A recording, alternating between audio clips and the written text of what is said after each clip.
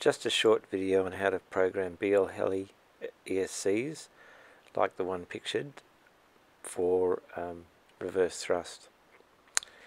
I use a Turnigy uh, Afro programmer. Um, sometimes it can be difficult to install but otherwise it works quite well.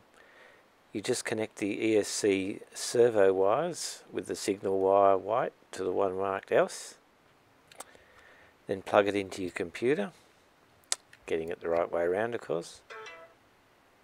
And it just connects up. Okay then you connect the battery to the ESC to power it while it's all plugged into the computer. I just use a MultiStar battery for this. Right then you open up the BLHeli software that you download from the internet. Um, just run it.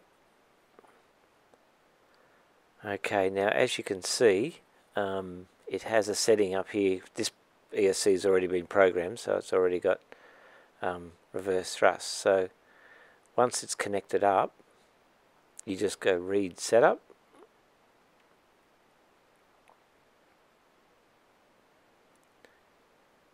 Okay so and that reads in the ESC setup and there it is. So it's already set to bidirectional. So I'll just change it away for the purpose of this and I'll write that.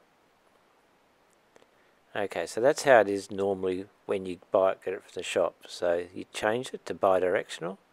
Then you go down and you set the limits. So you set the center to be 1500 usually and the end point to be 2000 and the low point to be 1000. That usually ties in well with APM. Um, any other settings you want to set, um, I don't usually set any of the others. Then I go write, and the, the write was successful, and then you just disconnect.